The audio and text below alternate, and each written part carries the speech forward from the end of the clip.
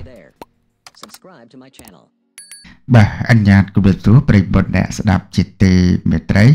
បាទសូមស្វាគមន៍មកកាន់ Channel Pro KH Official យុទ្ធថៃបាទសូមលើកនៅអត្ថបទដ៏ស្រង់បាទខ្លីៗចំនួន2បូកជំរាបជូនដល់ប្រិយមិត្តអ្នកស្ដាប់ដែលអត្ថបទទី1រថយន្ត Lexus RX 300បើកលឿនទៅបុករះម៉ូតូ2គ្រឿងនិងរថយន្តមួយគ្រឿងទៀតបណ្ដាលឲ្យម្ចាស់ម៉ូតូស្លាប់ និងម្ចាស់រថយន្តបង្កក៏ស្លាប់ដែរបាទប្រិបត្តិនេះគឺតកតងនឹងករណីគ្រោះថ្នាក់ចរាចរណ៍ទៀតហើយឃើញថាមករយៈចុងក្រោយនេះមានបញ្ហា បាទគ្រោះថ្នាក់ចរាចរណ៍បាទកើតឡើងជាហូរហែ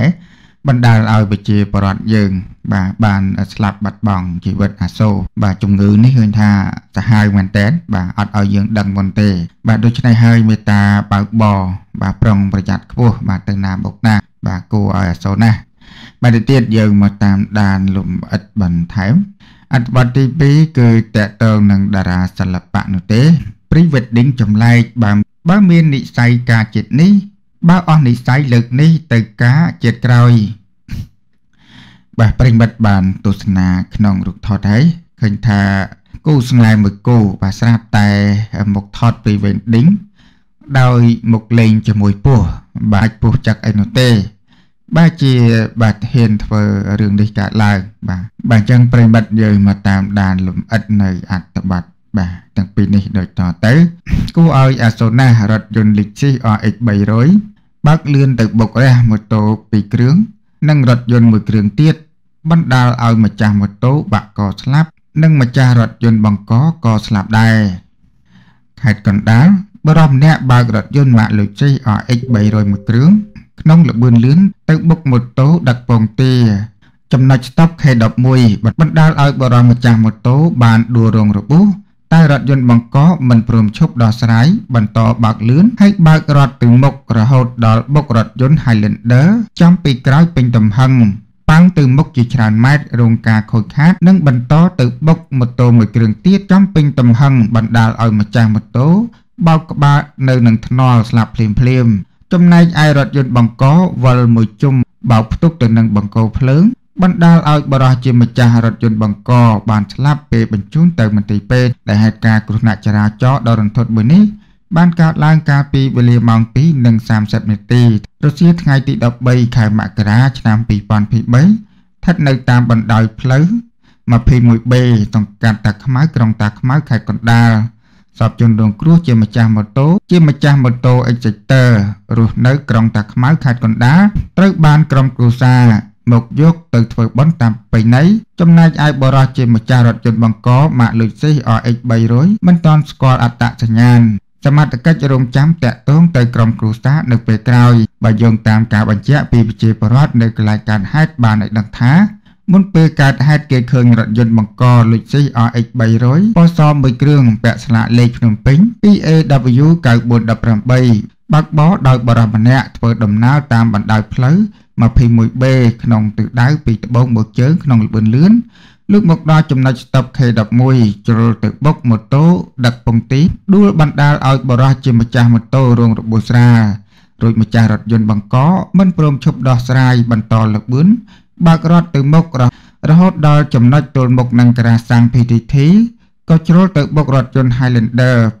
ពណ៌សពាក់ស្លាកលេខមន្ទីរមន្ទីរ PA 8229ធ្វើដំណើរស្របទៅគ្នានឹងរថយន្តបង្កពីត្បូងទៅជើងតាមពីក្រោយពេជ្រទំហឹងបណ្ដាលឲ្យប៉ើងទៅមុខជាច្រើនម៉ែត្ររងការខូចខាតយ៉ាងដំណំហើយរថយន្តបង្កក៏បានដេកចង្កូតទៅបុកម៉ូតូ Exeter ពណ៌ខ្មៅជិះដោយបរោះរងគ្រោះធ្វើដំណើរប្រចាស់ទៅគ្នា ពីជើងមកបងវិញចំពីមុខពេញទំហឹងប៉ើងបរោះម្ចាស់ម៉ូតូបោកក្បាលទៅនឹងថ្នល់ស្លាប់មួយរំពេចចំណែកឯរថយន្តបង្ក បានវិលមួយជុំបោកផ្ទប់ទៅនឹងបង្គោលភ្លើងបណ្ដាលឲ្យបរោះជាម្ចាស់រថយន្តបានស្លាប់ក្រោយពេលបញ្ជូនទៅដល់មន្ទីរពេទ្យបន្ទាប់ពីហេតុការណ៍ខាងលើនេះសមត្ថកិច្ចមូលដ្ឋានទឹកខ្មៅបានសហការជាមួយនឹងផ្នែកជំនាញចរាចរណ៍បានចុះមកដល់រួចពិនិត្យធ្វើកំណត់ហេតុ យករថយន្តពីរគ្រឿងនិងម៉ូតូយកទៅរក្សាទុកនៅអធិការដ្ឋាននគរបាលក្រុងតាខ្មៅរងចាំការដោះស្រាយនៅពេលក្រោយបន្ទាប់ពីធ្វើកំណត់ហេតុប្រកលសរោះជាម្ចាស់ម៉ូតូទៅឲ្យសាច់ញាតិយកធ្វើបន់តាមប្រពៃណីចំណែកឯសពបរោះជាម្ចាស់រថយន្តបង្កប់មិនតាន់ស្គាល់អត្តសញ្ញាណសមត្ថកិច្ចរងចាំតាក់ទងក្រុមគ្រួសារឲ្យមកយកទៅធ្វើបន់ផងដែរបាទប្រិមិត្តនេះគេតាក់ទងនឹងករណី គ្រោះថ្នាក់ចរាចរណ៍រថយន្តលុចសេះមួយគ្រឿងបាទបើកបុកគេពីស្តុបឯណោះបាទអត់ឈប់អីនោះទេ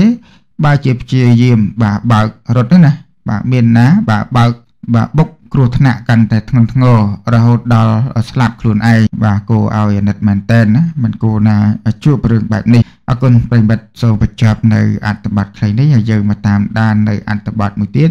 បើមាននិស័យការចិត្តនេះបើអស់និស័យលើកនេះទៅការចិត្តក្រោយមហាជននៅក្នុងបណ្ដាញសង្គមនាំគ្នាចាប់អារម្មណ៍ទៅលើគូស្នេហ៍មួយគូដែលបានថតរូប pre-wedding សម្រាប់ថ្ងៃមង្គលការរបស់ខ្លួនជាមួយនឹងសត្វពស់វែកដ៏ធំមួយក្បាលគួរឲ្យញញើតខ្លាំងមែនទែន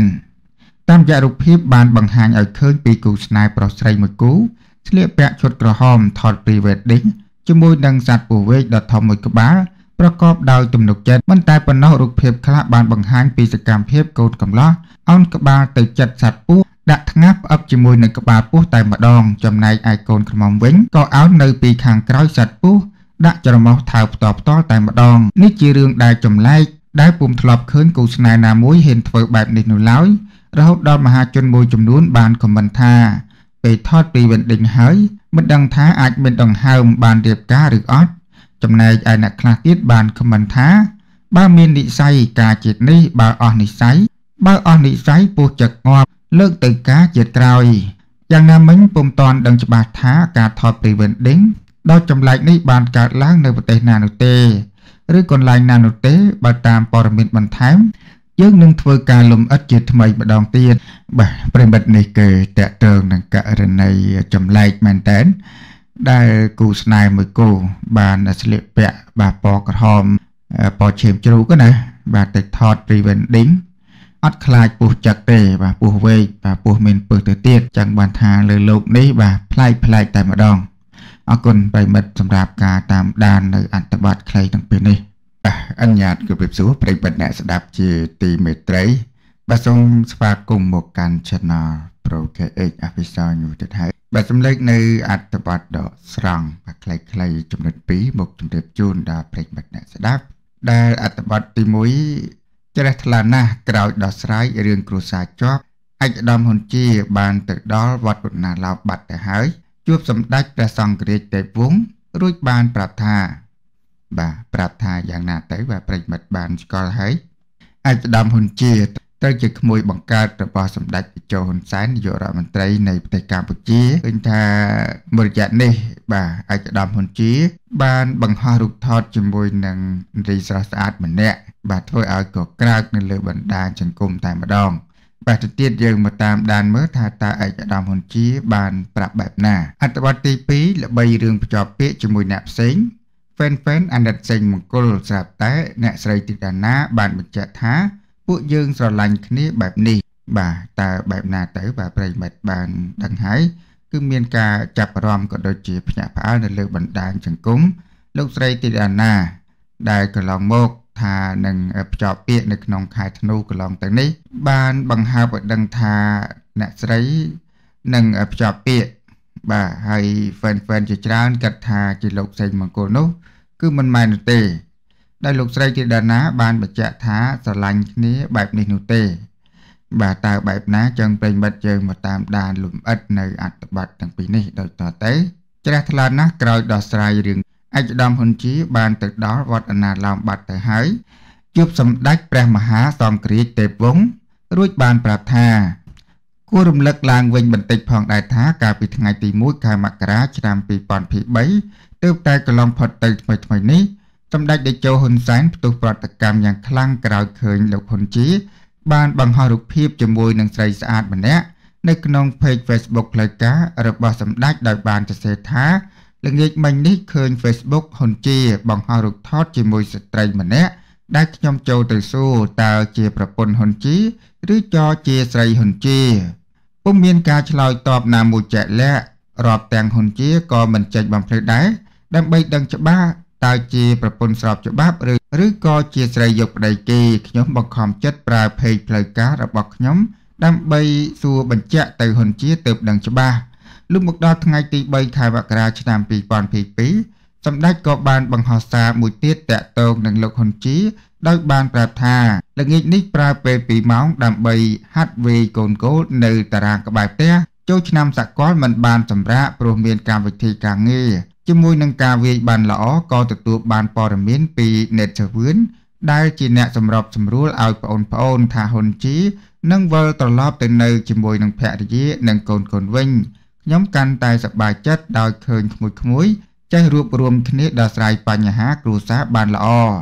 ស្រាប់តែមកដល់ថ្ងៃទី5ខែមករាឆ្នាំ2022នេះគេឃើញលោកហ៊ុនជាបានមកដល់វត្តឧណាឡោមជួបជាមួយនឹងសម្ដេចព្រះមហាសង្ឃរាជតេជវង្ស រួចបានប្រាប់យ៉ាងខ្លីថាថ្ងៃទី5ខែ1ឆ្នាំ2023ព្រះរាជពិធីចម្រើនអាយុវឌ្ឍនមង្គល92យើងចូល93ព្រះវស្សាសម្ដេចកតេឧទេសបណ្ឌិតទេពវង្សសម្ដេចព្រះមហាសង្ឃរាជនៃព្រះរាជាណាចក្រកម្ពុជាក្រោយឃើញបែបនេះហើយហ្វេនហ្វេនរបស់ក៏ដូចជាមហាជនទូទៅ បានសម្ដែងអារម្មណ៍ទាំងនេះចេញមកថាសូមជូនពរបងមានសុខភាពល្អកម្លាំងមាំមួន សំណាងល្អមានសេចក្តីសុខនិងជោគជ័យគ្រប់ភារកិច្ចសាធុសាធុបង សូមជូនពរឲ្យបងជួបតែសំណាងល្អនិងហេងហេងជានិច្ចពីខ្ញុំគោរពស្រឡាញ់បងថ្វាយព្រះពរសម្ដេចជាអង្គម្ចាស់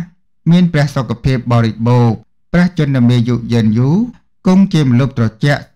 សម្រាប់ពលរដ្ឋកម្ពុជា បាទប្រិញ្ញមិត្តនេះគឺតកតើងនឹងឯកឧត្តមហ៊ុនជាក្រោយពីបានដោះស្រាយបញ្ហាចប់សពគ្រប់ហើយ ក៏បានមកជួបសម្ដេចព្រះមហាសង្ឃរាជទេពវង្សបាទឃើញថាល្អមែនតើអរគុណប្រិមិត្តសូមបញ្ចប់នៅអត្ថបទខ្លីនេះហើយយើងមកតាមដាននៅអត្ថបទមួយទៀតល្បីរឿងភ្ជាប់ពាក្យជាមួយអ្នកផ្សេង fan fan អាណិតលោកសេងមង្គលស្រាប់តែលោកស្រីទីដាណាបានបញ្ជាក់ថា ពួកយើងស្រឡាញ់គ្នាបែបនេះកាលពីពេលថ្មីថ្មីកន្លងទៅនេះអ្នកគ្រប់គ្រងមានការចាប់អារម្មណ៍ខ្លាំង ក្រោយពីលោកស្រីធីតាណា បានក្រុមឈុតកូនក្រមុំហើយប្រាប់ថាថតដាក់មុខរោងដោយសារតែអ្នកនាងត្រូវភ្ជាប់ពាក្យនៅក្នុងខែធ្នូឆ្នាំ2022ហើយត្រូវរៀបការអំឡុងខែមិនិនាឆ្នាំ2023ក្រោយពីប្រកាសបែបនេះស្រាប់តែចុងខែធ្នូដើមឆ្នាំ2022កន្លងទៅនេះមានការបែកធ្លាយរូបថតប្រមាណចេញពីគេហដ្ឋានអ្នកស្រីធីតាណាក្នុងនោះក៏មានវត្តមានលោកជំទាវជាច្រើនបានចូលរួម ជាពិសេសវត្តមានលោកជំទាវហ៊ុនស៊ីណាតែម្ដងអ្វីកាន់តែចាប់អារម្មណ៍នោះគេសង្កេតឃើញវត្តមានបរិសង្ហាគូស្រឡះម្នាក់ឈរក្បែរអ្នកស្រីចតនាជុំចិត្តដោយលោកជំទាវមួយចំនួនធ្វើឲ្យអ្នកគ្រប់គ្រងគិតថាអ្នកស្រីបានធ្វើការភ្ជាប់ពាក្យស្ងាត់ស្ងាត់ក្នុងឱកាសនោះហើយកូនកំឡោះនោះមិនមែនជាលោកសីមង្គលនោះឡើយបន្ទាប់ពីរឿងនេះបានល្បីសរសើររួចមកស្រាប់តែអ្នកគ្រប់គ្រងបានចូលខមមិនពេលអ្នកស្រីធីតាណាកំពុងតែ live កាលពីព្រឹកថ្ងៃទី4ខែមករា ឆ្នាំ2023ដោយលើកឡើងថាចែព័រមានផ្ទុះថាចែភ្ជាប់ពាក្យជាមួយអ្នកផ្សេងមិនមែនចេញមង្គលទៅ fan អាណិតសេងមង្គលជាការឆ្លើយតបទៅនឹងខមមិននេះលោកស្រីធីតាណាបានបញ្ជាក់ថា ពួកយើងបានប្រាប់រួចហើយលោកសេងមង្គលនិងពួកយើង បាននិយាយគ្នាអស់ហើយថា ពួកយើងស្រឡាញ់គ្នាបែបលក្ខណៈការងារហើយពួកយើងមានអារម្មណ៍ល្អជាមួយគ្នាញ៉ាំអីជាមួយគ្នា ទើបធ្វើឲ្យបងប្អូនមានការយល់ច្រឡំជាមួយគ្នានេះមានអ្នកគ្រប់គ្រងផ្សេងទៀតបានខមមិនថា